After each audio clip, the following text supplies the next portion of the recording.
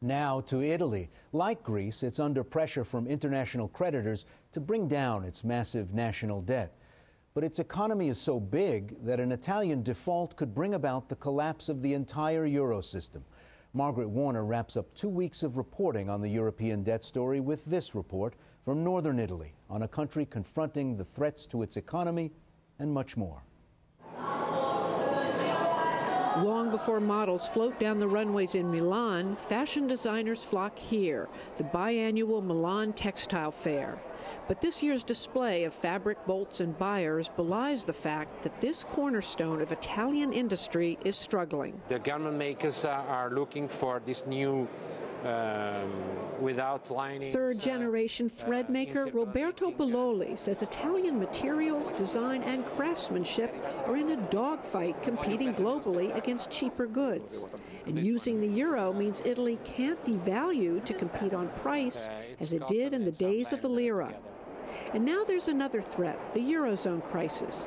Belloli has to turn away longtime customers at home and abroad because they're short of cash or credit. We had uh, a good, uh, a good company, some customers in Greece, and in, in, this moment it's not possible to work with them, for example, or in Spain or in Portugal, because they, in this moment they have no credit. So we, we had to reduce this company. So we, we, we cannot work with them. All of Italy is hurting. From the fashion and financial hub of Milan to the country's many small towns, business is bad. Earnings have changed. What's in the drawer at the end of the day? It is very easy to work a lot and earn very little. We came from Germany to the prosperous North Italian region of Lombardy to see why Italy's economy is losing ground. The stakes here are enormous. Europe's second most indebted country after Greece, Italy's too big to bail out. But as the world's seventh largest economy, it's too big to fail. The increase in the Italian public debt occurred mostly in the 80s, beginning of the 90s. Economist Tito Boeri, a professor at Bocconi University, says Italy incurred the debt through government giveaways two decades ago. But its biggest problem in tackling the debt now is the last 10 plus years of stagnant growth. Income per capita, so the average income of Italian is now in 2012 at the level of 1999. The reason uh, behind this is structural, what we call structural problems, structural impediments to growth. That was clear during a visit to Italy's Lake District. Known for its alpine views, it's also home to an age old manufacturing sector. We are very family oriented uh, people and uh, we are very attached to, to the ground where we are born. Aristide Stucchi owns a lighting component firm founded by his grandfather. He feels hamstrung by a labor law that makes it extremely hard for most companies to fire a worker. If uh, the judge uh, do not think uh, that uh, the reason to fire him was good, uh, you must uh, re-put him in place and pay him a salary of up to 60 months. You go to court. How long does that whole process take? A life. A life, yes. But does that inhibit you in any way from hiring? Yeah, that, that's the biggest problem now, probably, that companies uh, think twice uh, to hire somebody. Just up the road is a family run chain making company. Its owner, Giovanni Maggi, feels held back by a swollen and unresponsive Italian bureaucracy. The bureaucracy, that is a very negative effect to the economy in Italy, gave us a lot of problems, so we need a lot of permission. Permitting hassles long delayed his plans to build this simple warehouse across the parking lot. We lost two years. And this one, you know, nowadays is not possible because uh, we are in a global market, have competition from all the world, and we must be very fast in reaction. And then there is Italy's high rate of corporate taxation. Combined taxes can run more than 50 percent. Stucchi and Maggi argue that's one reason Italian companies aren't as efficient as some foreign competitors. It also leads to tax evasion. The reasons for the Italian sport of tax dodging has even deeper roots, Maggi says. I think maybe it was, uh, you know, in the mentality of the Italians. I think that the most of the Italians, they don't believe the state. And the, the most of the Italian, I would say, they have like in their DNA the fact do not pay taxes. But this, this one doesn't work, I think. So we must pay taxes if we want that our country will be able to survive. Economist Boeri says the underground economy is so pervasive, an estimated 30% of total output, that it spawned its own vocabulary. We have the black economy and the cappuccino economy. The cappuccino is. Uh, What's is, the cappuccino? The cappuccino is where, where there's some milk. No, is uh, is uh, is uh, the color is less is less black. So a restaurant might declare some of its receipts, but not exactly. All. This would be a cappuccino type of situation. Italy's stalled economy has been devastating for many ordinary Italians. Most young people aren't hired full time these days, but under short term contracts, giving employers little incentive to train them. 33 year old architect Francesco Leoncavallo juggles two jobs, just one in his field. Di giorno non ho, non ho contratto. Oh, no contract at all? No. Because in the evenings, I do a job which has no reference to what I studied. And there are lots of newly poor.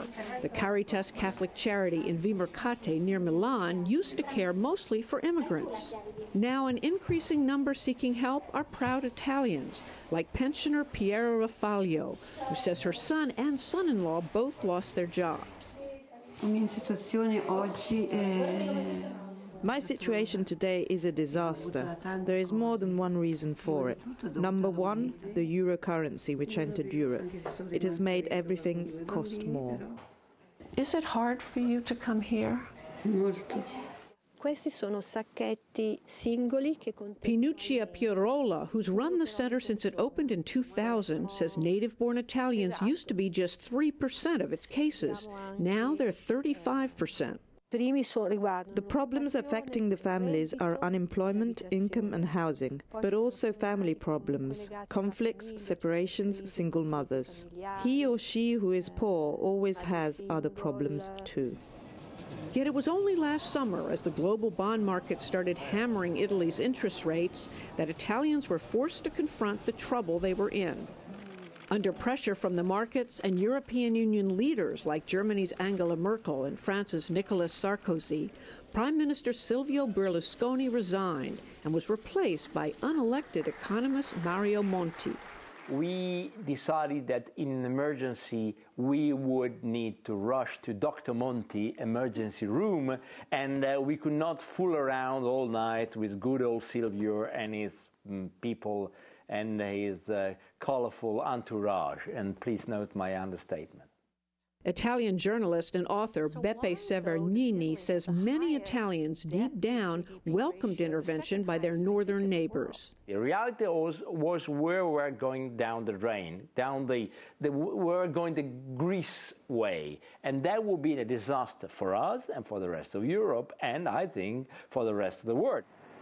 In three months, Monti has pushed through spending cuts, a hike in the retirement age, and renewed taxes on primary residences. But there's resistance to his attempts to liberalize the economy from the grip of guilds that limit numbers and set minimum prices for pharmacists, lawyers, notaries, and taxis. Eh, entrambe le cose. Cab driver Antonio Costa says he will have to work more for less money if more cabs hit the streets, while tax hikes have raised gas prices. He faults EU leaders for pressuring Monti without giving him much of a helping hand. Io credo che la Merkel uh, I believe Merkel could have done more for us economically. For example, Eurobonds, which she refused to do and she should have. But Germany is the most powerful force. They hold the knife by the handle, so they can decide whether we have good weather or bad weather. Are the Germans trying to dictate to Europe? Certainly, no doubt about it. Polls show a majority of Italians, like consumer goods company manager Andrea Rendina, approve of what Monti's doing. Do you think he's going to succeed? Provided he has the opportunity to continue working, yes, he will. Uh, certainly, he, he can do it because eventually we have expert people at the right place. The Italians have changed more uh, in the last six months than they have in the last 15, 20 years. Uh, but Italy is an operatic, operatic country, never forget that. And, he, and uh, he, the, the, crowd in the theater, uh, they cheer the tenor until the very moment, until they boo him off the stage. Yet with so much at stake, says Beppe Severgnini, perhaps Bravos won't give way to boos too quickly this time. Deep down, we know that's the only way to do things. Work longer, do not waste money, pay your taxes. If we do that, then Italy is paradise. So everything else is right. Look at a place like this. Look at a town like this. Look at the food, the wine, the families we have. We got everything all right. All right, indeed. But if Italians want to preserve the way of life they cherish, they are first going to have to save it.